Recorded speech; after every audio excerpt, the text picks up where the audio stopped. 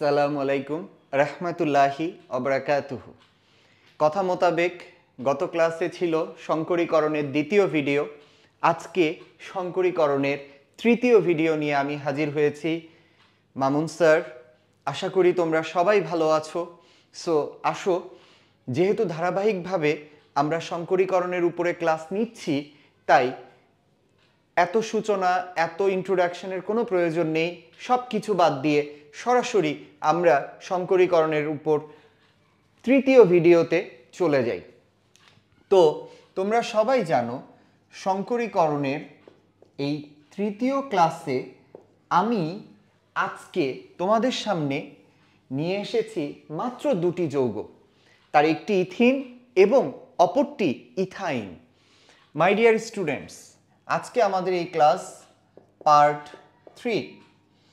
তো এই পার্ট থ্রিতে আমি তোমাদের সামনে দুটি যৌগের শঙ্করীকরণ নিয়ে মূলত আজকে ক্লাসে দাঁড়িয়েছি। তো সেই প্রথম যৌগটি হলো একটি ইথিন, সবাই জানি CH two double bond CH two অপরটি ইথাইন।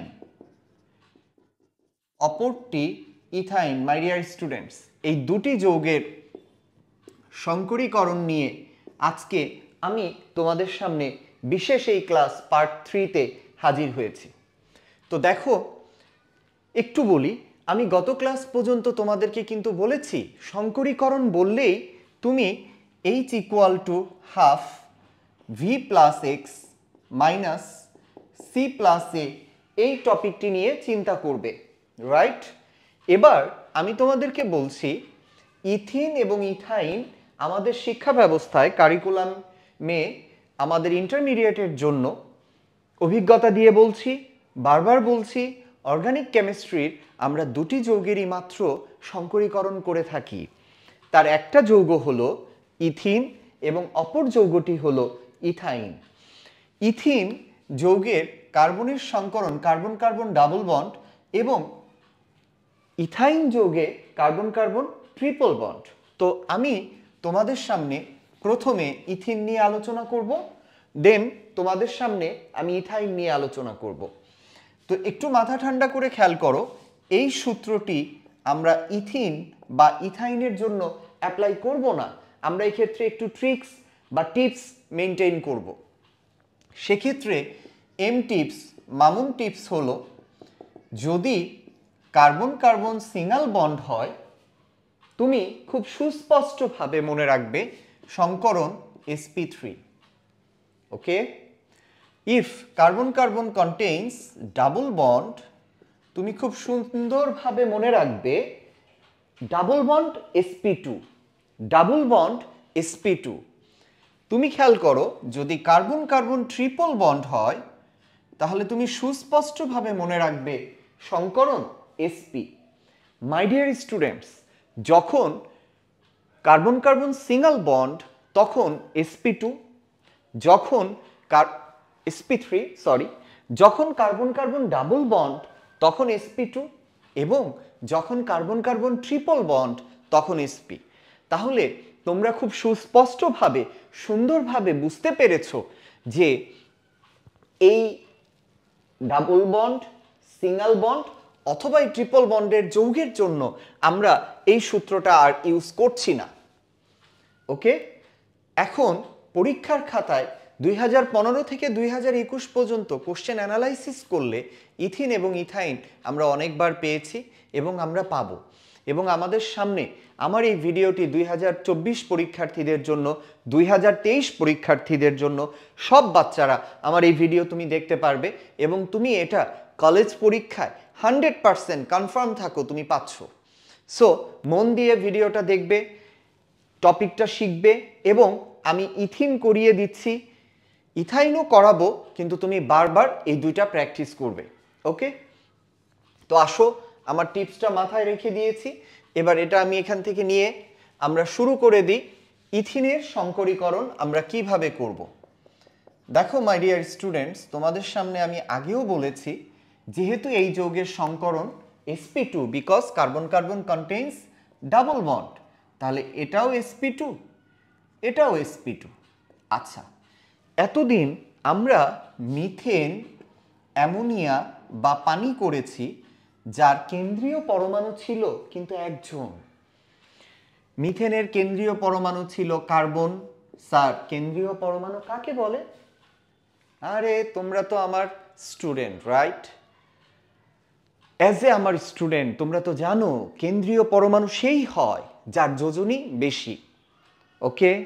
আইদার, কেন্দ্রীয় পরমাণু কেন্দ্রে থাকে যে পরমাণু অ্যামোনিয়াতে নাইট্রোজেন বিকজ নাইট্রোজেনের যোজনী বেশি, এবং পানিতে কিজেন অক্সিজেন বিকজ অক্সিজেনের যোজনী বেশি। এখন ঠিক আছে, এগুলো এক্সাম্পল ঠিক আছে বাট তুমি একটু খেয়াল করো তো, ইথিন যৌগে তোমার কেন্দ্রীয় পরমাণু কে? কার্বন, এবং কার্বন কিন্তু একটি না সেম কেন্দ্রীয় পরমাণু, কিন্তু দুটি, কার্বন দুটি। ওকে বাট তার সংকরণ এসপি টু আমাদের জানা আছে রাইট আর আমাদের এও জানা আছে, কেন্দ্রীয় পরমাণু যখন যৌগ গঠন করে, তখন সে তিনটি স্টেজ পাড়ি দেয়। কয়টি? তিনটি। Normal excited and কিব্রিডাইজড hybridised my dear students normal excited and কিব্রিডাইজড hybridised আসো আমাদের কাজ মোতাবেক, আমরা এটা দিয়ে শুরু করি। কার্বনের পারমাণবিক সংখ্যা ছয়। One S two two S two two P two তো আমরা লিখব না, বাবা। টু পি টু মানে তুমি জানো পি এর তিন ঘর P X P Y and P Z tuna টুনা জিরো টুনা টুনার ভিডিওটা, টুনা টুনির ভিডিওটা দেখে ফেলবা। তাহলে এটা ক্লিয়ার হয়ে যাচ্ছে। ওকে লিঙ্ক দেওয়া থাকবে। তুমি ফাহাদ টিউটোরিয়ালে কেমিস্ট্রি মামুন স্যার দেখলেই ফাইন্ড করলেই তুমি এই ভিডিও পেয়ে যাচ্ছ টোনাটুনির সাহায্যে হুন্ডের নীতি। Okay so one S two two S two two P two লিখা যাবে না two P X one two P Y one and two P Z zero so তুমি সাধারণ ইলেকট্রন বিন্যাস টু পি জেড জিরো লিখে দিলে কিন্তু তুমি তো জানো কার্বন এক্সাইটেড স্টেজে এক্সাইটেড স্টেজে কার্বন কি করবে তার একটি ইলেকট্রন টু এস থেকে টু পি জেডে পাঠাবে রাইট তখন তুমি দেখো তো স্টার আর তুমি তো জানো এক্সাইটেড স্ট্রেস স্টার চিহ্ন দ্বারা প্রকাশ করা হয়। যখন এক্সাইটেড স্ট্রেস স্টার চিহ্ন দ্বারা প্রকাশ করা হবে, তুমি খুব সুন্দরভাবে স্টার চিহ্ন দিবে। দেওয়ার পর তুমি one S two two S one two P X one two P Y one and two P Z one লিখবে রাইট দেন তুমি কি করছ? তুমি তো জানো যে এই যৌগের এই কেন্দ্রীয় পরমাণু কার্বনের সংকরণ এসপি টু তাহলে তুমি তো, আমি গত ক্লাসে বলেছি যদি এসপি হয়, তাহলে এক্স পিএক্স পিওয়াই পিজেড এর শুধু এস আর পিএক্স যদি এসপি টু হয়, তাহলে পিএক্স পিওয়াই আর পিজেড ভ্যাকেন্ট আর যদি এসপি থ্রি হয়, তাহলে পিএক্স পিওয়াই অ্যান্ড পিজেড তাহলে তুমি খুব সুস্পষ্টভাবে বুঝছ, যেহেতু এটা সংকরণ এসপি টু তাহলে আমরা নিব এস এবং পিএক্স ওয়ান এবং পি ওয়াই ওয়ান পিজেড আমরা নিব না, ওকে? এবং এসপি টু মোট কয়জন? তিনজন। আমরা এসপি টু হাইব্রিড অরবিটাল পাবো কিন্তু তিনটি। তাহলে আমরা আসো, এখন কিব্রিডাইস্টে যাই। হাইব্রিডাইসড স্টেস সেক্ষেত্রে আমি one S two two SP two একটা হাইব্রিড অরবিটাল পেয়েছি। টু এসপি টু দুইটি পেয়েছি টু এসপি টু তিনটি পেয়েছি এবং two P Z one remain কি চেঞ্জড আনচেঞ্জড এবার এই ওয়ানের উপর ওয়ান দ্যাটস ওয়াই ওয়ান এটার উপর ওয়ানের উপর that's Y one one one এটা সংকরিত কিন্তু আনপেয়ার্ড ইলেকট্রন সংকরিত বাট অযুগ্ম electron okay my dear students next এটার সাথে তুমি দেখো কয়টা হাইড্রোজেন মিলিত হয়েছে? দুটি। তাহলে হাইড্রোজেন ওয়ান এস ওয়ান এবং হাইড্রোজেন ওয়ান এস ওয়ান। দেখো, আমি এই ইথিন যৌগের প্রথম অংশের কাজ কমপ্লিট করলাম। এখানে দুটি কেন্দ্রীয় পরমাণু, একই জিনিস, কার্বন ছিল দুটা। তাই প্রথম পার্টের জন্য কার্বনের কাজ করলাম হাইব্রিডাইজেশন এসপি টুর জন্য। এসপি টু দিয়ে আমি সব কাজ কমপ্লিট করলাম। দেন আমি কি করলাম? দুটি হাইড্রোজেনের জন্য আমি দুটি হাইড্রোজেন ইলেকট্রন বিন্যাস one S one one S one লিখলাম। তুমি দেখো, এরপর একটি ডাবল বন্ড তারপরে দেখো একটি কার্বন আছে আবার। তাহলে সেই কার্বনেরও তো সংকরণ এসপি টু রাইট তাহলে one S two SP two SP two SP two two P Z one তাহলে এখানে ওয়ান ওয়ান ওয়ানের সাথেও দেখো কিন্তু দুটি হাইড্রোজেন আছে। তাহলে ওয়ান এস ওয়ান এবং ওয়ান এস ওয়ান খুব সুন্দরভাবে এ পর্যন্ত লেখা আমার মনে হয় যে পূর্বোক্ত দুটি ভিডিও দেখেছ প্র্যাকটিস করছ, শঙ্করীকরণ নিয়ে আমার সাথে আছো, ফাহাদ টিউটোরিয়ালের সাথে আছো, আমার মনে হয় না যে এই পর্যন্ত আমার স্টুডেন্টের কোনো প্রবলেম আছে। এবার চলে আসো, এখন তুমি একটা নতুন টপিক শিখছো, নতুন হাইব্রিডাইজেশনের একটু নতুন স্টেপ শিখছো। তোমরা, আমরা সবাই জানি যদি কার্বন কার্বন ডাবল বন্ড হয়, তাহলে আমরা সবাই জানি একটা থাকবে সিগমা, একটা থাকবে পাই। এর সাথে কিন্তু দুটি হাইড্রোজেন আছে। এই কার্বনের সাথে কিন্তু দুটি হাইড্রোজেন আছে। এই দুটি হাইড্রোজেনের সাথেও কিন্তু দুটি সিগমা। এখানে নতুন দুইটা শব্দ আসছে। একটা সিগমা বন্ড আর একটা পাই বন্ড। স্যার, চিনি না তো? সিগমা বন্ড কি? পাই বন্ড কি? মাই ডিয়ার স্টুডেন্টস একটা টপিক মন দিয়ে শিখলে প্রাণ দিয়ে শিখলে একটা রিলেটেড আরেকটা করা যায়। আমি ভিডিও শুরুতে চিন্তা করেছিলাম, তোমাদেরকে আমি ইথিনও করিয়ে দিব, ইথাইনও করিয়ে দিব। বাট এখন আমি চিন্তা করছি for your betterment for your better future আমি চিন্তা করছি যে আমি শুধু ইথিন করাবো, আজকের ক্লাসে ইথাইন করাবো না, ইথাইন তুমি করবে। ওকে কোনো প্রবলেম ক্রিয়েট হলে ভিডিও দেখবে ভিডিও দেখার পর কোনো কোশ্চেন মনে, চিন্তায় আসলে আমাকে নক দিবে। ওকে তো এখন আসো তুমি এইচ টু দেখো, আমি মন দিয়ে বলছি সিগমা কি? সিগমা হচ্ছে দুটি অরবিটালের মধ্যে, দুটি অরবিটালের মধ্যে যখন ফেস টু ফেস ওভারল্যাপিং হয়, মুখোমুখি অধিক্রমণ হয়, তখন তাকে বলে সিগমা বন্ধন, তখন তাকে বলে সিগমা বন্ধন। আর দুটি অরবিটালের মধ্যে যখন এক্স এক্সের মুখোমুখি অধিক্রমণ হয়, তখন এক্স অক্ষের উপর ওয়াই ওয়াই এবং জেড জেড পাশাপাশি নাইনটি ডিগ্রি অ্যাঙ্গেল করে থাকে এক্সের উপর ওয়াই অক্ষ এবং জেড অক্ষ। তো নাইনটি ডিগ্রি অ্যাঙ্গেল করে যখন থাকে, তখন ফেস টু ফেস ওভারল্যাপিং এর ফলে ওয়াই ওয়াই এবং জেড জেড এর মধ্যে সাইড টু সাইড ওভারল্যাপিং হয়, অধিক্রমণ ঘটে, তখন সেটাকে বলে pi bond my dear students তুমি এখন দেখো, এই কার্বনের সাথে দুইটা হাইড্রোজেন কানেক্টেড এবার দেখো, এই ওয়ান আর এই ওয়ান পরস্পর সিগমা বন্ধন। ফেস টু ফেস কি ল্যাপিং? ওভারল্যাপিং সিগমা এই ওয়ান আর এইটা পরস্পর সিগমা বন্ধন দ্বারা কানেক্ট হলো। শেষ, প্রথম কাজ করলাম, দেখো, তিনটা ছিল sp2 টু হাইব্রিড অরবিটাল আমার হাইব্রিড অরবিটাল ছিল তিনটা, আমার হাইড্রোজেন ছিল দুইটা, তাদের সাথে আমি সিগমা বন্ড দিয়ে কানেক্ট করলাম। ওকে এবার এই কার্বনে আসো। এখানেও একটা সিগমা এখানেও একটা সিগমা সিগমাকে এরকম লেখে। তো সিগমা। এবার দেখো প্রত্যেকটার দুইটা দুইটা এঙ্গেজড হয়ে গেছে। কার্বনের সাথে হাইড্রোজেন সিগমা, দুই এক কার্বনের সাথে দুইটা সিগমা, এই কার্বনের সাথেও দুইটা সিগমা, দেখো। Sigma sigma. এবার দেখো, এই sp2 টু এবং sp2 টু ভ্যাকেন্ট এটা হচ্ছে সিগমা। এই যে দেখো, কার্বন কার্বনের মধ্যে যে সিগমা। আর এই ওয়াই ওয়াই এটা হচ্ছে পাই। পাই হচ্ছে দুটি অরবিটালের মধ্যে বলেছি না ফেস টু ফেস ওভারল্যাপিং হচ্ছে সিগমা আর ওয়াই ওয়াই পিজেড পিজেড বা পি ওয়াই পি ওয়াই এরা কি করে? সাইড টু সাইড ওভারল্যাপিং করে। তখন তাদেরকে বলে পাই বন্ড তখন তাদেরকে বলে পাই বন্ধন।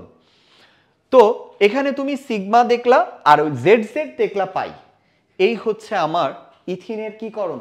সংকরীকরণ ইথিনের সংকরীকরণটার সাথে হুবহু তুমি কার মিল পাচ্ছ? ইথাইনের। ইথিনের সাথে তুমি হুবহু মিল পাচ্ছ কার? ইথাইনের। তাহলে ইথিনের সংকরীকরণ কেন এসপি টু আমি টিপস বলেছি, মামুন টিপস বলেছি।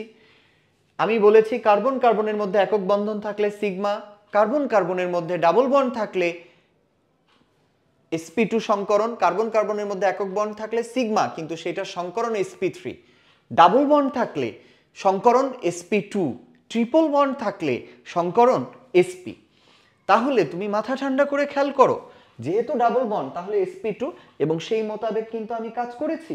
এবার আমার কাজ হলো তোমাদের বোঝানোর স্বার্থে এটার চিত্র এটার চিত্র নিয়ে এবং ইথাইনের চিত্র নিয়ে আমরা অনেক কনফিউশন ফেস করি। অনেকের মধ্যে একটু প্যাচ লাগে, বুঝতে গেলে মনে হয় যে আমি কোনটা করছি, ইথিন করছি না ইথাইন করছি?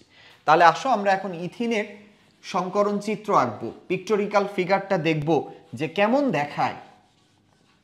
মাই ডিয়ার স্টুডেন্টস বলা আছে, যদি তোমার সংকরণ হয় এসপি টু তাহলে তোমার শেপ হবে ত্রিকোণাকার পিরামিড। ত্রিকোণাকার পিরামিড। পিরামিডীয়। তোমার শেপ যদি হয় এসপি টু তাহলে তোমার শেপ হবে সংকরণ যদি হয় এসপি টু তাহলে তোমার শেপ হবে ত্রিকোণাকার পিরামিড ট্রায়াঙ্গুলার প্লানার ওকে তাহলে এই ট্রায়াঙ্গুলার প্লানার লুকস লাইক এরকম। এই শেপটাকে বলে ট্রায়াঙ্গুলার প্লানার ওকে এখন তুমি মাথা ঠান্ডা করে খেয়াল করো তো। সবাই, এই ইথিনের দুইটা কার্বন এবং প্রত্যেকটা কার্বনেরই সংকরণ কিন্তু এসপি টু বোঝার চেষ্টা করি please SP two SP two তাহলে এসপি টু হলে আমার শেপ হবে ত্রিকোণাকার পিরামিড। এখন এই কার্বনের জন্য আমার শেপটা হবে ত্রিকোণাকার পিরামিড। এটা এই কার্বনের এসপি টুর সংকরণের চিত্র হবে এটা রাইট ওকে আবার এই কার্বনেরও তো সংকরণের এসপি টু ত্রিকোণাকার পিরামিড। ভালো মতো খেয়াল করো, বুঝার চেষ্টা করো। তাহলে আমি যেহেতু দুইটা কার্বন আমি দুইটা কার্বনের ত্রিকোণাকার পিরামিডটাকে কানেক্ট করে দিলাম। একত্র করে দিলাম ওকে আর তুমি তো জানো এসপি টু মানে একটা পি জেড আছে না? P X P Y P Z আছে না? এই সেই পি জেড অরবিটালটাকে এখান থেকে বের করে দিলাম। পিক্টোরিক্যাল ফিগারের টিপসটা একটু শিখে নাও ওকে আমি কি করেছি? এসপি টুর জন্য ত্রিকোণাকার পিরামিড করেছি। ত্রিকোণাকার পিরামিড করেছি এই কার্বনের জন্য, আর জেডটাকে আমি এখানে দিয়েছি এবং দুইটা জেড যেন সমান হয়। ওকে? তো এবার আসো, আমি যে কাজটা করব, সেটা হলো এই যে যে আমি পিক্টোরিক্যাল ফিগারটা আঁকলাম, এটাতে আমি এখন পি এর ডাম্বেল শেপ দিব।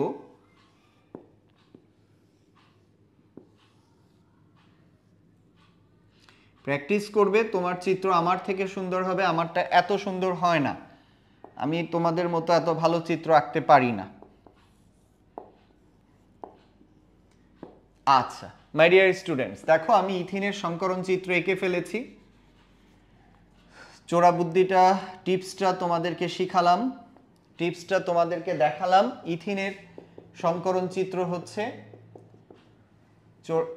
টিপসটা ছিল যে এটা ত্রিকোণাকার পিরামিড হবে। এই প্রক্রিয়াটা তুমি মেনটেন করবে। তারপর তুমি দেখো এখানে যেহেতু করলাম, তাহলে এটা কার্বন কার্বন সিগমা আর প্রতিটার সাথে এক একটা করে হাইড্রোজেন কার্বনের সাথে। ওকে? আর এটা এটা হচ্ছে পাই, কার্বন কার্বন সিগমা, এটা হচ্ছে এনটি পাই।